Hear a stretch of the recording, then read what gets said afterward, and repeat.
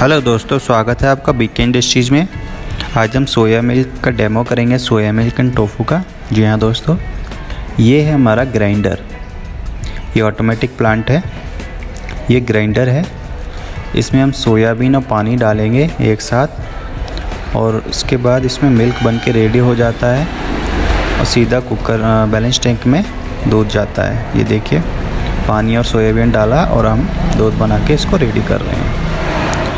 उसके बाद इसका जो उकारा निकलता है, इस उकारे को भी हम इसमें थोड़ा सा पानी मिला के इसको डालेंगे दोबारा। जो भी थोड़ा बहुत बचा होगा इसके अंदर करंट वो भी इसमें बन के रेडी हो जाएगा। ये देखिए, अच्छे से मिल गया है अभी। अब हम दोबारा इसको ग्राइंडर में डालेंगे। जी हाँ दोस्तों। ये देखिए, हमने इसमें डाल दिया है दोबारा। और मिल्क बन के निकल के रेडी हो जाएगा। हमारा मिल्क आ जाएगा बैलेंस टैंक में। उसके बाद ये मिल्क बना के हमारा बैलेंस टैंक में आ गया। उसके बाद हम करेंगे ऑटो ट्रांसफ़र। ये सारा जो मिल्क बैलेंस टैंक में है, वो सारा जाएगा हमारा कुकर में।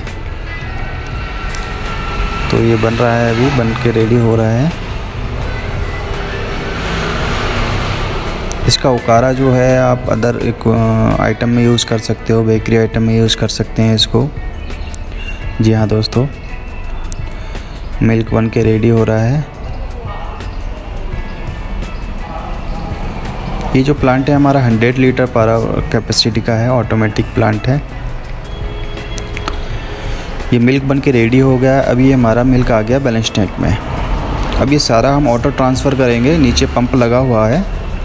इससे सारा हम ऑटो ट्रांसफ़र करेंगे कुकर के अंदर मिल्क चला जाएगा। अब ये थोड़ा थोड़ा हिला रहे हैं और नीचे से पंप लगा हुआ है, ये देखिए, और इसी टैंक से और कुकर के अंदर आपका मिल्क जा रहा है धीरे धीरे ये देखिए। सारा मिल्क चला जाएगा।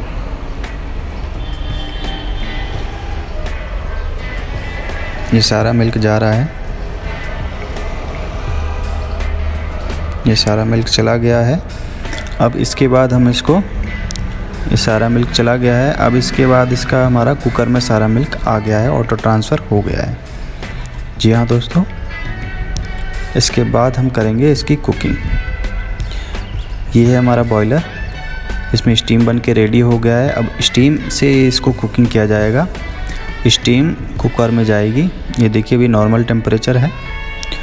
अब धीरे धीरे इसको कुकिंग होगी। पाँच से दस मिनट में कुकिंग कंप्लीट हो जाएगी। ये जो हमारा कुकर है, ये 40 लीटर का कुकर है। इसमें एक बार में 25 से 30 लीटर आप मिल्क कुकिंग कर सकते हो। अब मिल्क कुकिंग हो के रेडी हो गया है, अभी हमारा बाहर निकल गया है। एकदम 100 डिग्री तक कुकिंग हो चुका है ये। अब ये जैसे ही सारा निकलेगा दूध, इसको हम कोगुलेट कर देंगे। इसका जो केमिकल है वो हम आपको बता देंगे। जब आप हमसे मशीन लोगे, बहुत अच्छी क्वालिटी का बनेगा आपका जो प्रोडक्ट। अब वो कोगुलेट करने के बाद हमने इसको प्रेस कर दिया है। ऑटोमेटिक प्रेस है ये। सिंगल हेड में ऑटोमेटिक प्रेस है। जी हाँ दोस्तों, अब ये पाँच मिनट इसको लगते हैं प्रेसिंग होने में। पाँच मिनट में पूरा पानी निकल जाता है और प्रेस बन के रेडी हो जाता है। उसके बाद बन के रेडी हो गया है। उसके बाद हम इसको कटिंग कर सकते हैं। जैसे 200 ग्राम का ये कटर है। 200 ग्राम में आप कटिंग कर सकते हो। जी हाँ दोस्तों, एक बात से आप सचेत रहना कि ये गाय भैंस का जो दूध का पनीर है, वो नहीं है। ये बेस्ट सोयाबीन से बनता है। और इस धोखे में आप इस मशीन को कभी ना लें, मेरा मानना है। आपको अगर बिज़नेस करना है तो प्लीज़ टोफू का बिज़नेस कीजिए, सोया पनीर का बिज़नेस कीजिए। सोया पनीर बोल के बेच सकते हो मार्केट में। इसको नॉर्मल पनीर बोल के नहीं बेच सकते हो। काफ़ी लोग धोखा खा के मशीन ले लेते हैं कि लोगों को बोल दिया जाता है कि नॉर्मल पनीर बन के रेडी होगा। गाय जैसा दूध बनेगा, पनीर भैंस जैसा दूध पनीर बनेगा। जी हाँ दोस्तों, उस जैसा बिल्कुल नहीं बनेगा, हल्का कलर में भी रहेगा। और हल्का टेस्ट में भी। तो ध्यान रखें, इस गलत फहमी में ना रहें कि हम गाय, भैंस का दूध इस मशीन से बना के बेच सकते हैं।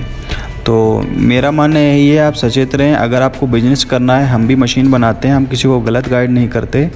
आपको टोफू का काम करना है सोया पनीर का काम करना है तो आप कर सकते हो, हमसे जुड़ सकते हो। ठीक है दोस्तों? तो इस सच्चाई से अवेयर रहें और कभी धोखे में ना जाएँ।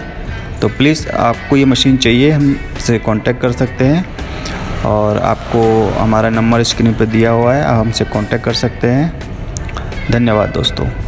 कोई भी क्वेरी हो, आप हमसे कांटेक्ट कर सकते हैं। धन्यवाद दोस्तों। आपका ब्रांड हो गया। स्टार्टिंग में आप ऐसे ब्रांड बना के बेच सकते हैं, इसमें कॉस्ट भी कम आती है। आपका प्रिंटिंग का खर्चा बच जाता है, एक डेढ़ लाख रुपए का। स्टार्टिंग में आप इस टाइप से पैकिंग कर सकते हैं। तो काफ़ी अच्छा लग रहा है। देखिए आप।